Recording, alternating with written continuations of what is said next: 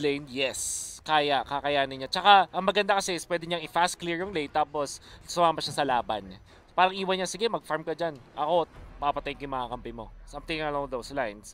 Pero ang siguro, ang pinaka magandang fix doon mula sa Omega is to definitely activate the Esmeralda. Kasi parang kahit dun sa huli, parang di nga natin nakita na kinombo nila yung Esmeralda. Which I feel for me is parang, alam mo yung waste of money. Kumbaga, parang pinag-farm mo para hindi makapag, makatulong sa laban. Mm. At yung uh, Onyx Philippines is it, nakita naman natin, totally different yung kanilang approach. Mm.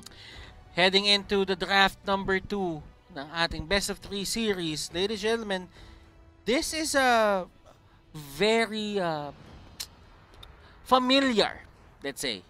For on this is very familiar for the side of Onyx PH na Saber at Johead yung kanilang binan. Ganito din yung ginawa nila. For Omega naman, Mathilda at Selena.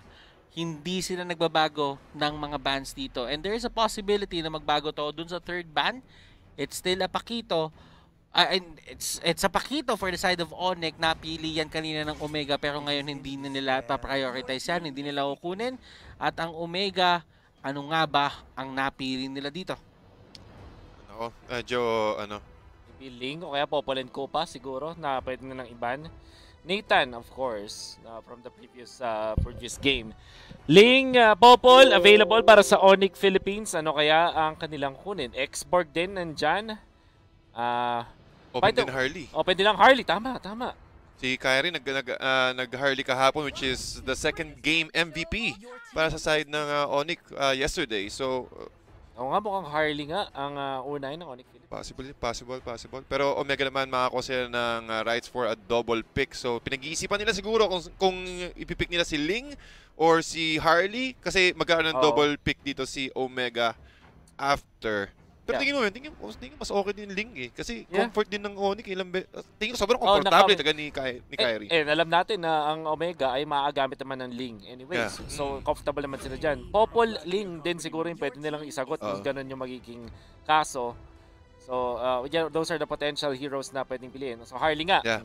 Uh, good spot there, TDZ.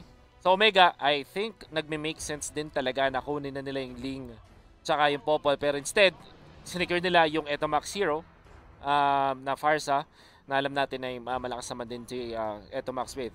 Ah, gusto ko lang din idagdag, ang Omega, lalo na sa drafting ni Coach Pac Bates nung ah, maraming beses nung MPL Season 7, ang ka- pwede nilang gawin ay kumuha sila ng, alam niyo mga flex heroes na pwedeng mid lane at ah, gold lane, katulad ng Farsa, Lunox, um, ah, Chang'e, Kagura, ganyan, oo. Chang'e, pwede nilang gamitin sa first phase para may konting pagka-flex pa rin yung kanilang ah, mapipili. Kaya, kaya sobrang So- importante talaga ng ano eh, ng mind games, ng mind game sa drafting. Oo. Eh. Yung mga hero na sobrang flexible na Oo. talagang pwede mong i-transition sa ibang lane para ma-confuse yung kalaban na akala ko ano to eh, mid lane to, yung pala nasa gold lane na bigla. Mhm. But Omega will secure Oh. the lane. Rock. Pakitaan ng Grok. Ah, oo. Mm, oo. Kinuha nila yung Ah, Grok and tuwan-tuwa ngayon yung Onyx. I feel, especially with the Harley and the Grok, napakat... Sino kaya yung pangatlong member nung mid, yung mid group? Oh, yun yung, yung, trio, may yung trio. trio mid. Kasi kung naniniwala ako, makakuha pa sila dito ng isang mage or kahit pa paano, or isang hero na madakas din mag-invade. Against the Ling, mas magiging okay yung objective battle ng purple buff para sa side ng Onyx. Ay, sobrang interesting nito mula sa side ng uh, Onyx Philippines. Sinikard agad nila yung Cho at sinabay sa Grok. Which kinda tells us na Cho ay side lane. Uh, Grok usually yung roamer. Although, na by the way, ah, gusto ko lang din i- i-take note, sa mundo ng MPL Indonesia, ginagamit nila yung ah, tinatawag na, di ba may mid mage, merong mid fighters na ngayon, katulad ng Haya, katulad ng Cho, um, Lapu, ginagamit nila sa may, as, ma- as their post for or their mid laners. Mm. Pati OMG. nagiging flexible na rin eh. Kahit, kahit kasi Obvious. Nathan ginagawang mid na rin eh, no? Okay, Fovius, maganda yan para dun sa second skill sa escape mechanics ng isang Harley. Plus, meron din siya para doon sa may show. Yep. Gandang ban ng Esmeralda. Yan na lang ang talaga makakasagot sa Fovius. Pwede din mag-double down ng uh, o- ong OMG. Iban na nila yung uh, um, Lunox or the uh, X-Borg perhaps na narinig natin. Um, Lilia ang kanilang binan. Okay. So just like in the just like how yung in, yung mindset to ng Omega, eh. pag may Ling, Lilia yung sagot. Nakita natin yan kahapon, nakita natin sa previous game. So, um, Lunox, available pa rin yan sa Onyx Philippines. Pwede nilang kunin pang sagot dito sa Fovius kasi yun lagi mo titingnan. Eh. Kapag may Fovius, kailangan may way para mapatay yung napakakulat na hero na yan. Yeah, pati burst talaga. Pati meron na rin silang proper setup for Harley. So Yeah. yung magic penetration is already available. Plus, pag dinagdagan mo pa ng Chaos Assaults, lalong mas makate. Angela. So I completely agree dito sa Onyx. Ooh, But super Angela. shields. Angeling. Angeline. Angeling is online, Tama. no? Okay. Onyx Philippines, uh, looking at this, pwedeng, uh, pwede tayo maka... I'm thinking, baka mag-back siya sila. Or it could be as crazy as back siya, kaso that will mean na Cho ay pwedeng maging uh, gold or EXP lane. Laban sa Farsa na pwede rin nga side lane, so hindi rin yung best case. Pero I'm thinking of uh, other anti-sustain heroes. Yun na kasi yung kailangan ng Onyx Philippines ngayon. Tingin ko parang gana rin dito labo-labo sa Onyx. Pwede. eh. Tingin ko ah. Kasi again, we're, we're up against uh, ano eh, Farsa pati dito si uh, sa Phobius ng Omega. So I think it will work uh, if uh, that would be the case. Kaso mangyayari, magiging gold link yung show. Yeah. Uh, so probably Mm. Oh! Welcome back! So kung hindi natin masasagutan masyado dito yung Phobius, i-control na lang natin siya for quite some time. Probably the Ooh. Daytona's welcome. And uh, kuha tayo ng isang Natalia So, para ma-disrupt kung ano man yung gustong gawin ng isang Ling at ng Farsa. That, so, are, are is this telling us na Grak Natalia ang combo ng Onyx Philippines? And napakataas ng invade potential At if si that's the Omega case. siya. Nako. Ang ah, medyo ano yung ano ah, medyo nakukulangan yung sa magic damage dito yung Onyx since Yeah. Uh, Harley ang magiging uh, main mage dito and probably this will be their core hero if, if I'm not mistaken looking at things. Mm. Ah, super duper sustain mula sa Omega. Back siya, nagre-revitalize yan. I don't know kung revitalize ang ipipili niya dito pero napakataas potential nun.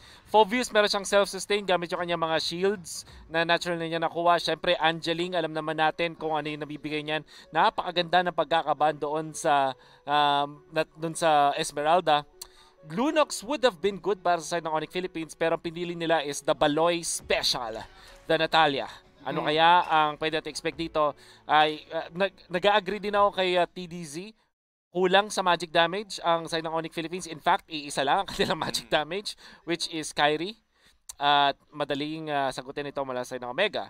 At um, wala ding late game scaling mula sa side ng Onyx Philippines apart from the Cho. So Omega, pwede nilang i-take to ng longer game kung saan magsusustain lang sila sa kanilang sarili, hintay lang magkaroon ng items, and then maybe wait for the moment to strike sa late game. Mhm. And uh, preemptive din yung ginawa nila doon sa par sa pick para side ng Omega para maiwasan na nga yung mga ginagawang uh, Sun na lineup kasi pwede mo ilagay yung katapat ng Sun eh. Oo. So ibig sabihin, this is going to be this this was very nice of uh, Omega to actually pre-plan things. Nakikita mo dito yung thought process nila and nakalagay talaga para sa kanila kung ano yung mga kailangan nilang gawin. Na-realize na nila kung ano yung mga dapat nilang iwasan.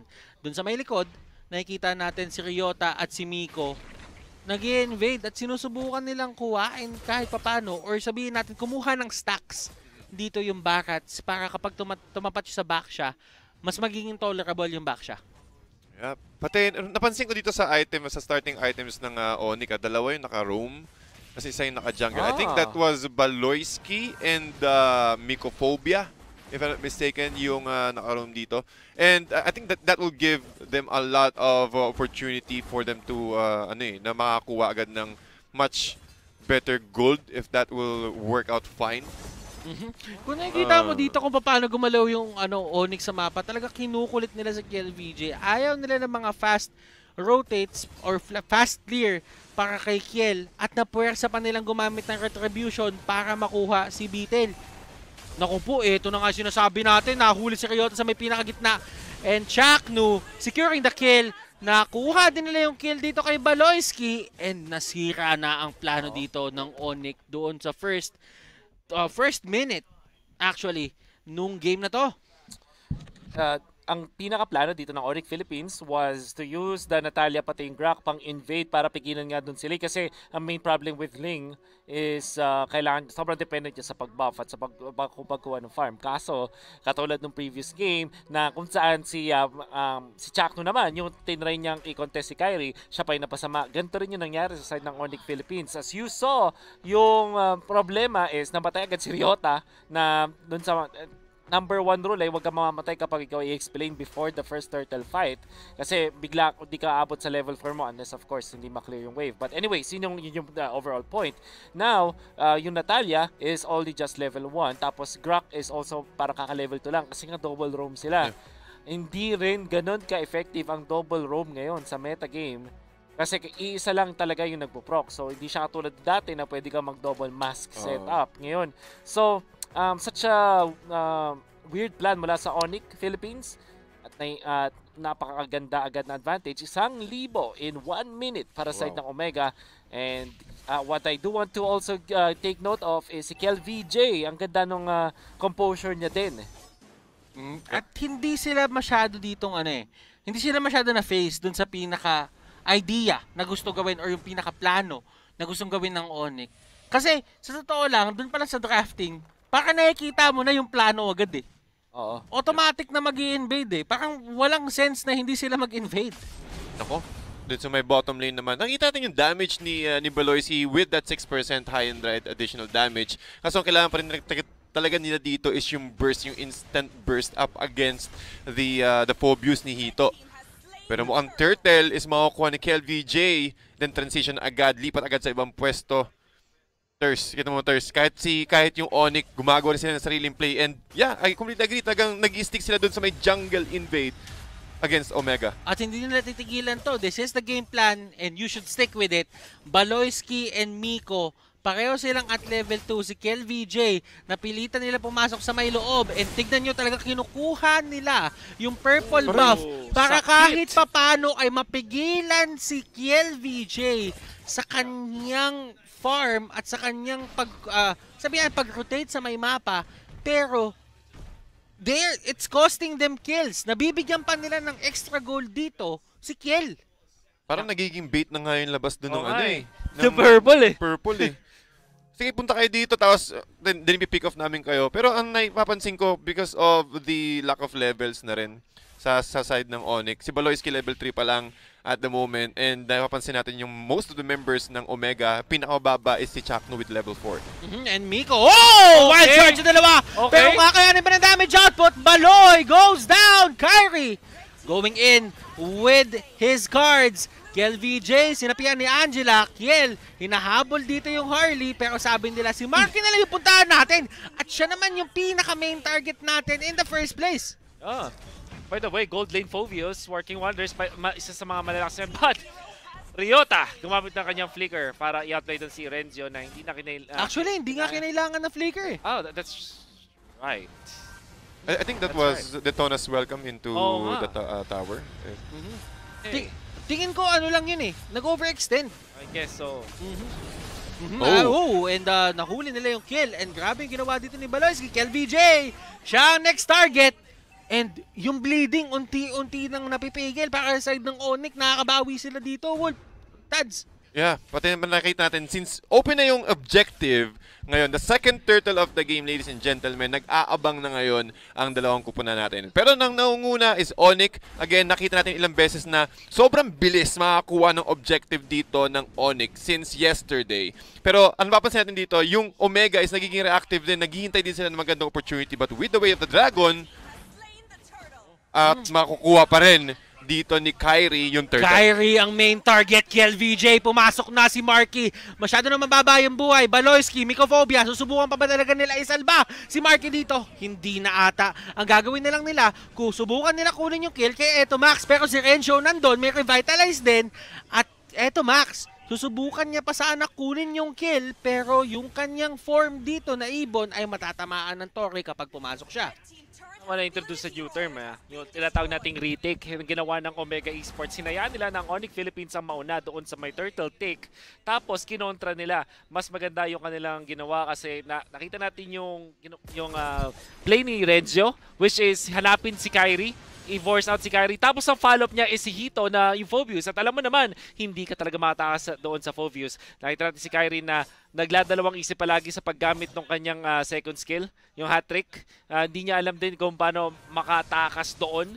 Kasi kahit anong mangyari, habol siya ni, ni Hito. Tapos may flicker pa si Hito, so talagang habol na habol. And then you also have the Angela Ling na alam na din natin ay panghabol. So, Mhm. Onyx Philippines losing the fight to the retake of Omega Esports. Pero unti-unting nakakabawi sa gold. Which is surprising to me. At dahil din ito dun sa pagyaman ni ah, Mr. Ryota na 4.3k dun sa may top lane Wow. napabayaan sa kusina. Mm, Kita mo naman, di na uuwi yan. May Sky Guardian na eh. Oh, tignan mo, Oh, dire-diretso na lang yan. Napakalaki ng dinosaur. And kung iisipin mo din ah, kanina pa niya talaga sinusubukan kontrolin yung lane against Renjo. And si Ryota ngayon, tingin ko, ah talagang pipwersahin niya na na makabalik at lumaban dito sa mga certain rotations sa gagawin ng Omega and Kyrie wala na siyang pang escape at that moment on. Pero sila Ryota sila Baloy. Andito na sila. Baloy? abot ba si Baloy? And Baloyski going in! Oh! getting the kill. And Natalia yung gustong gusto niya. Jack no dito talagang pinipilit pa nila kunin. Pero sabi ni Ryota sige dito tayo Rencho 1v1 with the great one. And here we go Back siya versus the dinosaur. Tignan natin kung ano ginagawa nila. Paikot-ikot. Naku, yung tatlong Brusco nagsuntukan! May isa pa tumagdag. Oh, may dumagdag. Oh, sabi niya, pre, ako bahala sa'yo. Ako yung backup mo. Oh, balon. Oh, si balon. Knocks out, pre. Op! Hito. Ah, okay. May lightning truncheon pala. Naku po, eto na yung nangyari. Grabe yung damage output pero hindi kinaya yung shields. Very costly setup para sa side ng Omega. May mga nakuha silang kills pero ang nangyari, sila naman yung napunish din ng todo. Looking at the gold. Marky. Sa totoo lang, oh, si Marky dito nakakuha pa ng kill at makakatakas kaya siya. Ito yung tanong. High and dry, wala siyang kahit anong skill and that is going to be Marky going down. Although uh, that was a shutdown, so after ng magkamali ng Omega Esports, may konting pagkamali ng Onyx Philippines. Although, ang maganda doon is sa solo kill para kay Marky, on route sa kanyang uh, uh, killing spree. At tama doon sa sinabi mo, Butters, nag, nag, nag, nag backfire yung play ng Omega Esports sa may top lane habang si Baloyski Uy. ay kipaglaro dito kay KLVJ. Former teammates na nakikita ngayon on Oh! his former team, Baloyski. Wow! Maganda laban. Dash. Wow! Oh, oh, immunity! Oh, sunog! Oh, nasunog. Oh. Pero ang, ang tapang nun ha, isipin mo yung ano ah, yung challenge na okay, you need to understand na laging talaga merong Angela dun sa may fight na yun. But looking at this, Winter Truncheon. Oh, Guardian's Barrier. Well-placed, Mycophobia, tapos ginamitan siya ng turbo. Grabe, biglang ano, no, showtime pares na, na, play, na teams. At si Kyrie, wala talaga siyang takas dyan. Kapag nakapitan talaga siya ni Hito, pipili lang siya kung babalik siya dun sa origin ng kanyang placement Yeah. or itatakbo niya na ba. Pagka nakita ni Hito yon automatic, ultimate ang sasapitin niya. Kaso men, ah, bigla natin nakakalimutan. The reverse Ube strat. Oo, Mhm. yun yung. Nakapag-push na naman sa top lane si Marky. Ikatlong tore na napunta sa Onyx Philippines at while look at that gold. Bigla Wow. na lang lamang ang Onyx Philippines. Parang This 27.6. black magic Oo yata. nga, eh, parang ramdam ko, ang dami nang na, sabihin na lang natin na ang dami nang nabawasak na tore ni Marky. Feeling ko kung ganito yung lineup niya, ah, kung ganito yung laro niya lagi, hindi siyang malabong tawaging the demolition man eh. Pwede, no? Kasi ga gana rin kasi eh. Pero top, top lane ah. Napakakunat ni Ryota dito. Dalawang tao na yung pumapalo sa kanya. Hindi talaga mabawas-bawasan. Baloyski ang pinaka-main target nila and Kel VJ. They get the kill. Doon sa may pinakalikod si Eto Max naman, yung nahabol dito ni Kyrie. Kel, tumatakbo. Si Hito na lang ata yung magiging main target nila. Hindi Oh, na nangyari yung Sanib. Hito goes down. Chakno dito yung main target na naman ni Kyrie. Papalit-palit lang sila ng targets habang si Demolition Man nandun sa may gitna. mid. Ayan na! Trabaho lang, ano? Oha Barts lang. ang Wow. the new ano ah, ang pinakabagong ah, hard most Hardest working Hardest working man, man. hardest working man sa Wow. MLBB. employee of the month Marky Cabasio. Op, kamunti ka na si Kel VJ doon maipit sa loob ng Guardians Barrier. If that happened, if that happened, they could have gone for the re-engage. Pero, Dahil nga hindi, ay doon naman natapos yung laban na yun. Baloyski talagang tinithread niya yung jungle ng kalaban carefully kasi ayaw niya din naman magbigay ng mga exclamation mark Oo. doon sa ulo ng kalaban niya. Pipilitin niya ata to. Y- alam mo yung ano, na, namamangha ko kay Baloyski, lugi siya sa gold tsaka sa sa EXP. Pero pumapalag siya.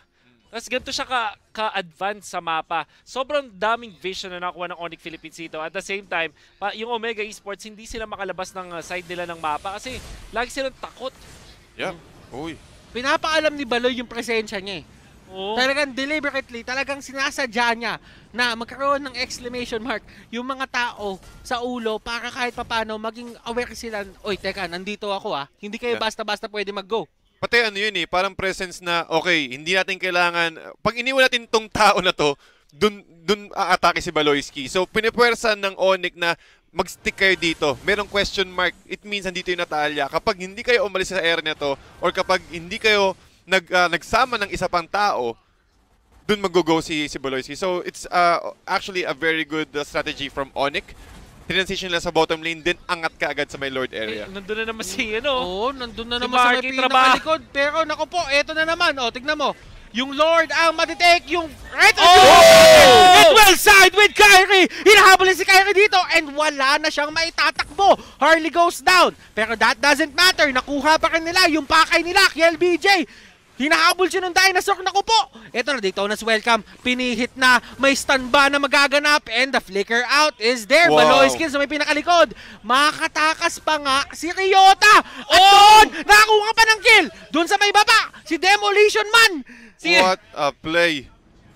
Si Chuck no, na nakakuha niya si Angeling. Si Angela. Ako. Grabe. Ibang ibang klase Red Joe will be chasing Baloy! Baloyski! Baloyski! Buhay pa si nakatakas Baloyski! pa nga! Marky, Marky? nakauli! Op, Tempest of Blades, hindi niya ma hindi niya, hindi niya mapapatay yung lane. Pero, the thing is, yung formation ng Omega dito, tingnan mo nakalalim na yung Lord ng ganyan Oo, eh. oh. oo. Hindi na nila na hindi na nila nasagot eh. I think uh, napatay yung Lord before the 12-minute mark which means na wala siya nung talon but that is still a lot of gold going favor of Onyx Philippines.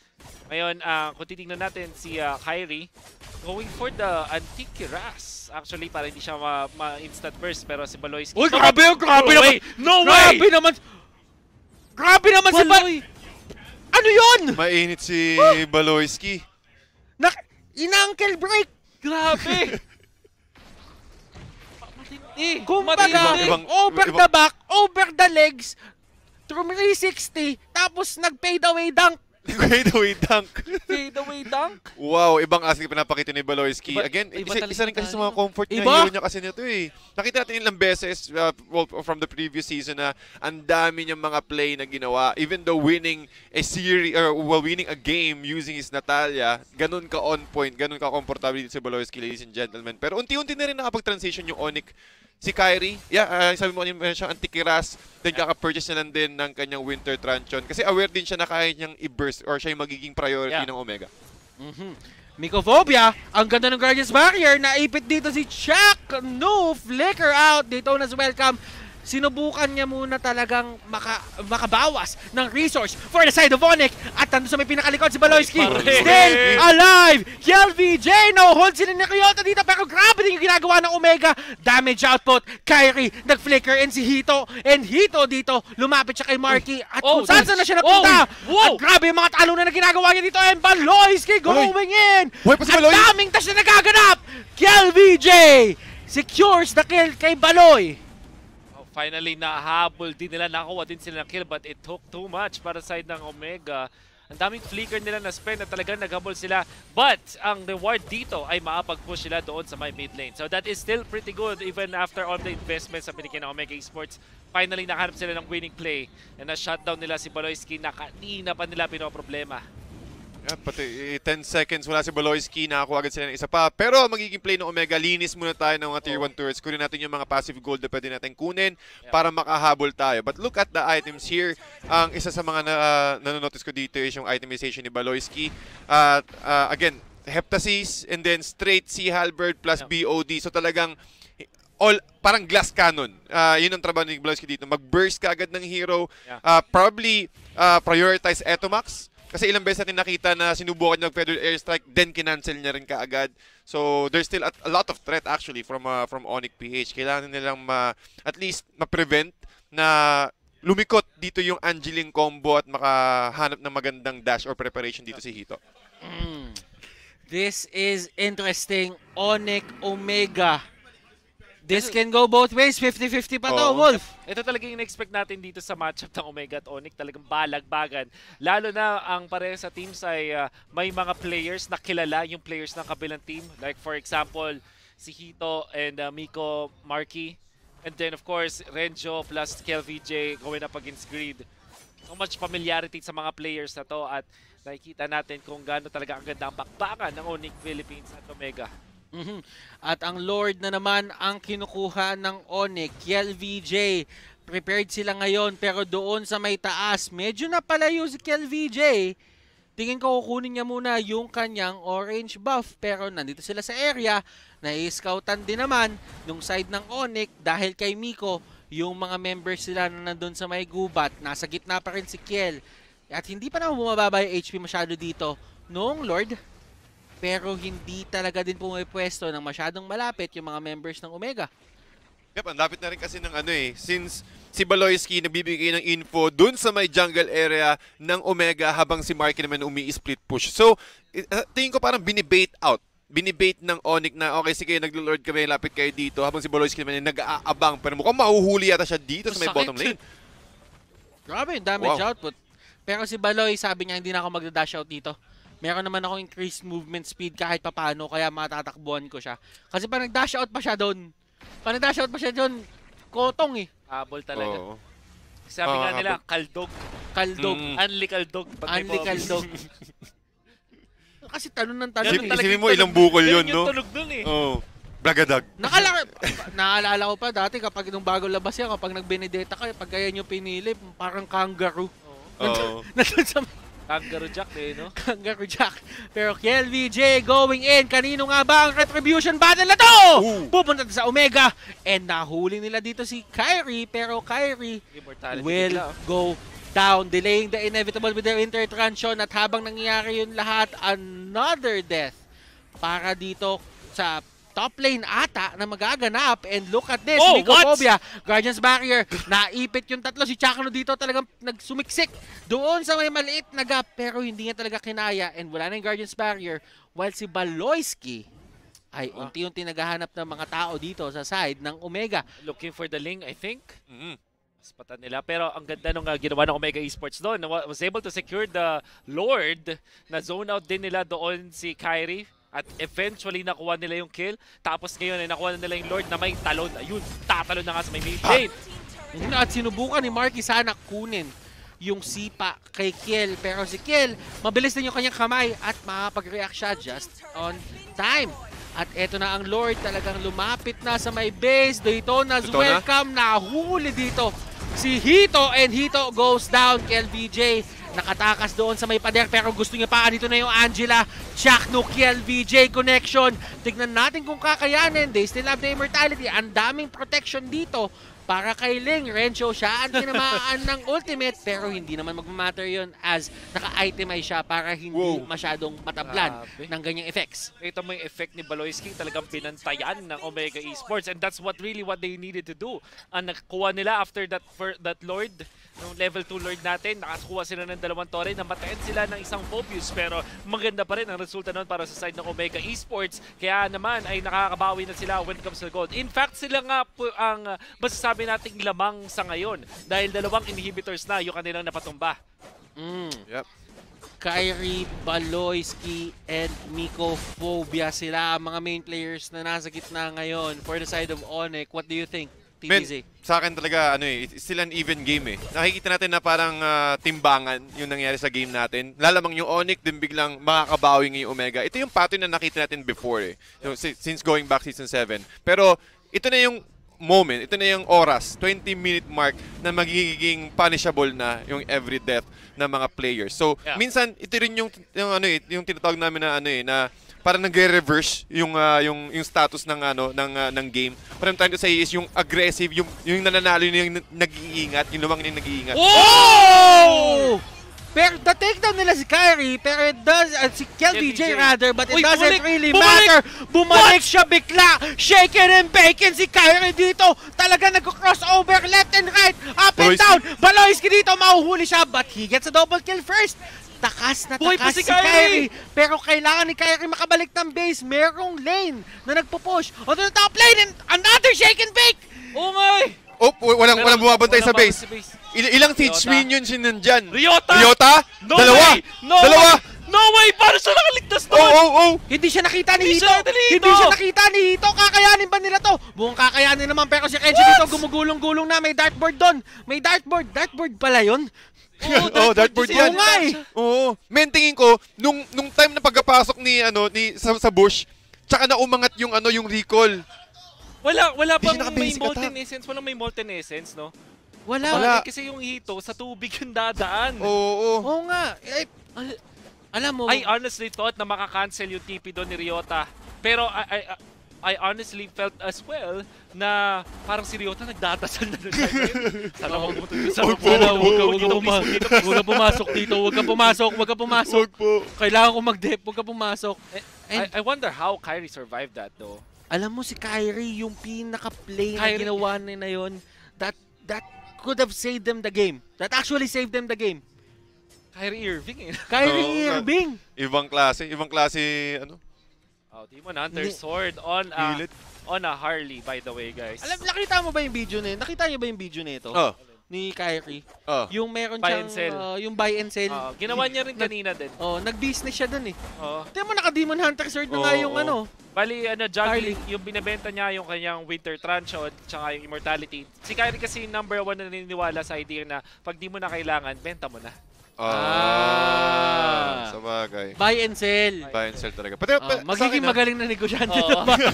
businessman, business-minded. Pero men sa akin, tingin ko sobrang okay. Talaga ng Demon Hunter Sword doon. Because uh, again, Demon Hunter Sword maganda siya sa mga uh, tanky heroes. Oo. Again, meron siyang Feather of Heaven, meron din siyang Calamity Reaper, if I'm not mistaken. So yung additional at, uh, attack speed na nakukuha niya, dun sa may poker tricks na additional bonus, is talagang kaya na rin yung makipagnormalan sa mga Oo. frontliners, which is the biggest problem sa side ng Onyx is si Renzo. Kapag naharapan siya, o kapag naka, nasa team fight si Renzo at nasa harap siya, is talagang hindi pa enough yung damage dito ni Marky at ni Oo. Baloyski. Kasi lagi sila napipick off eh. Trabaho ni Marky is mag-split push. Si Baloyski naman siya yung magpo-provide ng information and also going for the finisher role.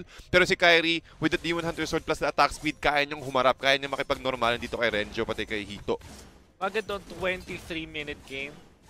Alam natin ng Omega Esports. Nako, nakatatak Pag, sa kanila. Oo, no? Eh. nakatatak yan. Pagka late game, Omega. Omega. 18 minutes, no? 18 minutes, Omega. Omega. Pero alam mo ngayon, kung napapansin mo, yung confidence ng Onyx na lumabas ng base nila, kahit may dalawang lanes na basag na at exposed na ang base, andun pa rin eh. I wonder, uh, kumuha si Kyrie ng isang brute force breastplate. Wonder kung anong ganyang pinenta. Holy Crystal, binitawan na dito ni ah, Mr. Kyrie. Nag-physical na ano siya. To? Normalan na to. Oo, Harling normalan. naman normal. Harling naman normal, pati movement speed, no? Okay. Sabi niya, eh yung mukhang yung damage ko, hindi na nakakamdaman eh. Yep. Wha- What this does is masasayang bigla yung mga Athenas, Oracle, tsaka yung Uy, si Renjo! Armor! Oy, pero Ligtas. grabe yung sanib dito ni Chakno and si Kel VJ. Nandun sa area, Marky. Mark. Uy! Mababali si wow! Banana talaga kinaka sa over pa. Talagang dinamay muna yung minions. Tumatakbo siya unti-unti. Wala na siyang mga dash dito. And tutumba siya. Baloyski! Ang susunod na tutumba, kailangan nilang masecure to. Barangan mo, buy time, buy Enough time! ba yung damage? Oh! Link pa rin naman na egg and Kyrie. Winter Truncheon ng kanyang kinuha. Immortality. Immortality. Bumili siya. Ang dami binibili ng hero dito ni Kyrie. Pero to no avail. Ryota, Mycophobia. Sila yung natitira para mag-defend. And Ryota, nahuli siya on the wrong side Yup. of the map. Miko na lang ata ang matitira. Immortality, surprise na rin dito at tinitipian ng tinitipian ng Omega dito at sabi ni Miko, sige, Yeah. since wala na tayo magagawa, titipin na lang ako. Uh, that should be it. A costly uh, mismaneuver mula sa Onyx Philippines at alam naman natin na na kapag nanakaw yung Lord, yun yung last hope para sa side ng Onyx Philippines. Hindi nila na-secure. Omega